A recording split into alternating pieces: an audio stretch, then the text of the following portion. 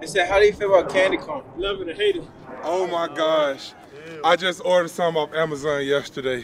I kid you not. If I had my phone, I would show you guys. Candy corn. Boo. I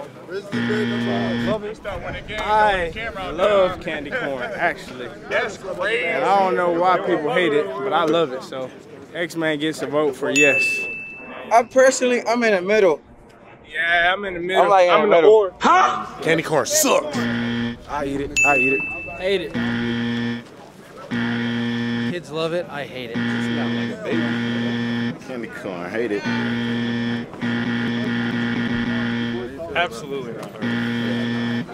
That's disgusting. Yeah, I'm not a big fan. I love candy corn.